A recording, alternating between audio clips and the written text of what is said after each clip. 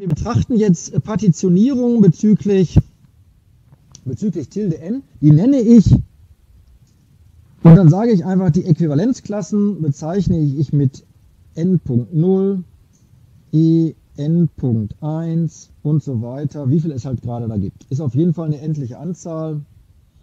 Also sozusagen hier, das ist die erste Äquivalenzklasse bezüglich Wortlänge n, das ist die zweite Äquivalenzklasse bezüglich Wortlänge n und so weiter. Es ist einfach nur eine Bezeichnung, dass ich hier unten sozusagen so zwei Indizes habe. Einmal das, der erste Index, der äh, sagt gerade, wo befinden wir uns hier bezüglich welcher Wortlänge. Und der zweite ist einfach eine fortlaufende Nummerierung. Ich starte mal bei 1, das ist irgendwie schöner. Ja, also ich fange an bei das erste bis, bis zum letzten hier. So, und die Idee ist jetzt die folgende. Mein Start ist einfach die Unterscheidung bezüglich Wortlänge 0. Das besteht aus den beiden Äquivalenzklassen E01 und E02. 0, sozusagen diese 0 hier vorne und E01 ist das folgende. Das sind einfach alle finalen Zustände, die wir eben auch schon hatten. Q1 ist final, Q3 ist final. Ja, das ist im Prinzip diese Äquivalenzklasse und die zweite Äquivalenzklasse ist diese hier. E02 ist dann Q2, Q4, Q5 und Q6. Ich mache jetzt wieder eine Tabelle auf, im Prinzip genauso wie eben auch. Wir hatten Q1, Q3, Q2, Q4, Q5 und Q6. Ich schreibe jetzt einfach mal die Äquivalenzklassen darüber. Ich trage jetzt hier nicht die Zustände ein, die da rauskommen, sondern die Äquivalenzklassen. Wenn ich in Q1 bin und ein A lese, dann lande ich in Q2 und Q2 liegt in E02.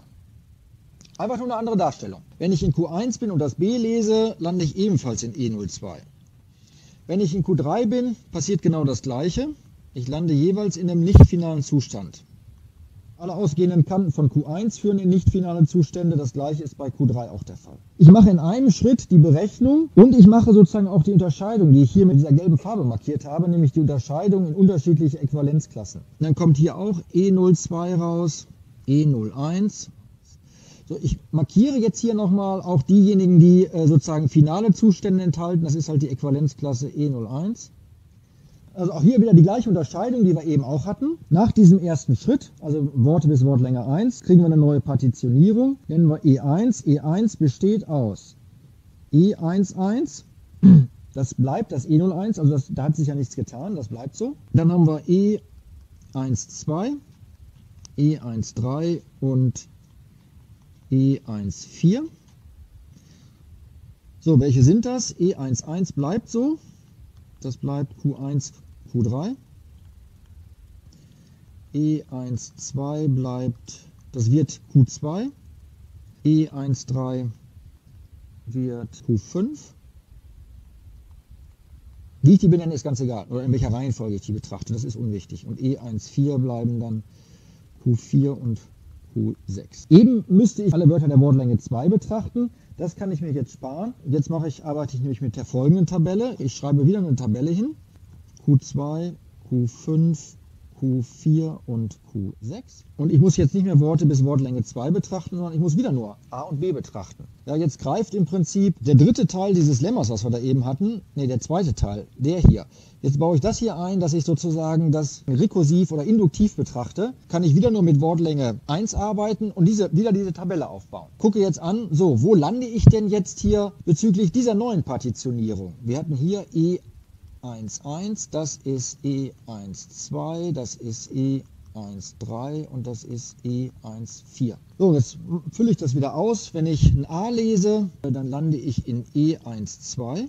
Also ich gucke mir jetzt an, in welcher Äquivalenzklasse lande ich bezüglich dieser Partitionierung, die ich hier oben drüber geschrieben habe. Hier lande ich in E1,3, hier lande ich in E1,2, in E1,3, in E1,4, in E11. Q2. Q2 mit einem A und einem B. Mit einem A lande ich in Q5 und mit einem B lande ich in Q3. Hier muss eine 3 hin. Q5 ist E13 und E11 ist richtig. Q5 bleibt in E13.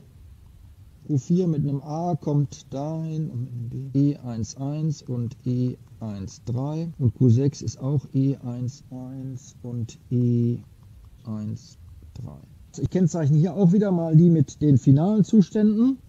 Und die Aussage ist jetzt, ich kriege hier keine weitere Verfeinerung der Äquivalenzklassen. Die Äquivalenzklasse E11, die bleibt so, da hat sich nichts getan. Ja, dieses Antwortverhalten der beiden ist gleich, der beiden Zustände. Hier kann ich eh nicht weiter aufteilen. Ja, und hier ändert sich auch nichts. Das heißt, keine weitere Verfeinerung.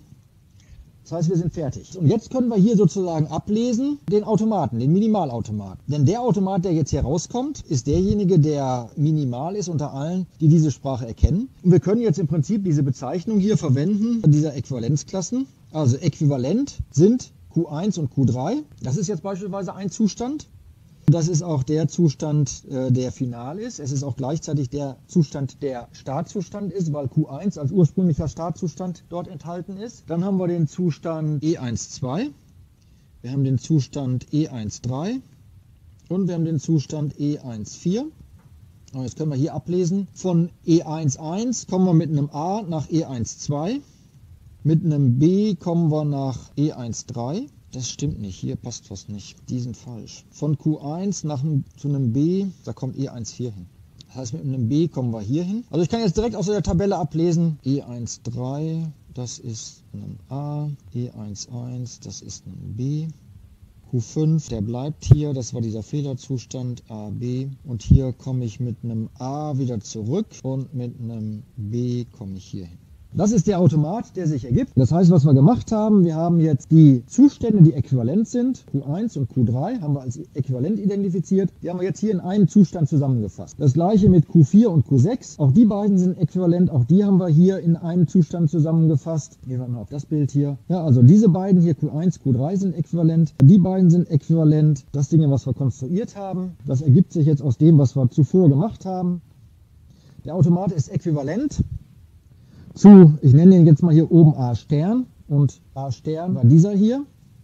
Das heißt, die akzeptieren die gleiche Sprache, minimal.